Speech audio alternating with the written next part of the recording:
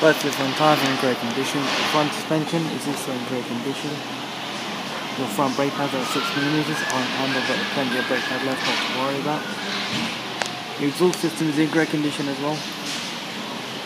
So is your rear suspension and rear brake pads. Rear brake pads are 6mm again in the handle, but still do not need to change as of yet. Your rear tyres are all okay. Yeah.